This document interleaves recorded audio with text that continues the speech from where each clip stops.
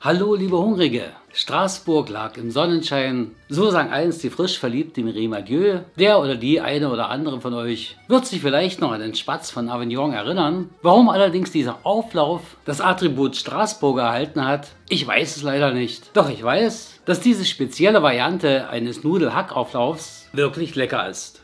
Wir brauchen dafür Sahne, trockenen Rotwein, eine große Zwiebel, angewürzten Cayennepfeffer bzw. Chilipulver, Thymian und Salz. Wir brauchen Öl und Hackfleisch. Ich verwende ein gemischtes, muss aber nicht sein. Tomatenmark, geriebenen Käse und Bandnudeln, alternativ aber auch eine andere Pastasorte.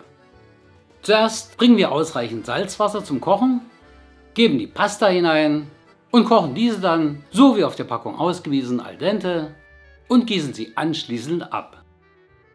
Die Zwiebel schälen wir und hacken sie anschließend fein. Dann geben wir Öl in eine große Pfanne, erhitzen es. Dann kommt die geschnittene Zwiebel mit hinein, diese jetzt bei mittlerer Temperatur so für ca. 2 Minuten anbraten bzw. glasig andünsten. Dann geben wir auch das Hackfleisch mit dazu und dieses nun krümelig braun anbraten.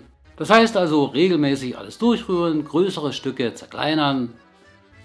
Sind wir dann soweit, löschen wir mit dem Rotwein ab. Geben als nächstes nun auch das Tomatenmark mit in die Pfanne und verrühren alles gründlich miteinander. Haben wir das erledigt, geben wir reichlich vom Thymian mit dazu und würzen dann weiter mit dem Cayennepfeffer und mit Salz.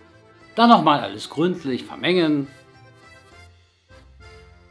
Und nun ergänzen wir mit den abgegossenen Bandnudeln, alternativ eben einer anderen Pasta, und verrühren nun alles nochmals gründlich und nehmen die Pfanne dann vom Herd.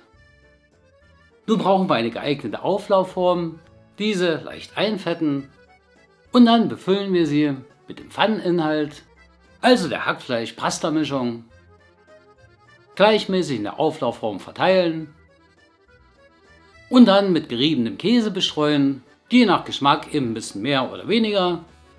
Bleibt noch als letzte Aufgabe, wir gießen einigermaßen gleichmäßig die Sahne darüber. Und dann kommt der Auflauf auch schon in den Ofen. Und zwar für 25 bis 30 Minuten, bei mir reichten 25, bei 220 Grad, Umluft 200. Und so sieht unser leckerer Auflauf dann aus. Und er sieht eben nicht nur lecker aus, sondern es schmeckt vor allem so. Die Zubereitung, wie ihr sehen konntet, ganz unkompliziert. Das Ergebnis aber köstlich. Und zwar ganz unabhängig davon, ob in Straßburg die Sonne scheint oder auch nicht. Ich wünsche euch viel Spaß beim Kochen und dann recht guten Appetit. Falls ihr allerdings lieber Pasta mit Spargel essen möchtet oder vielleicht doch eher einen Gyros-Auflauf, dann habt ihr hier die Gelegenheit. Über euer Abo freue ich mich natürlich sehr. Bis zum nächsten Mal. Tschüss, bye bye.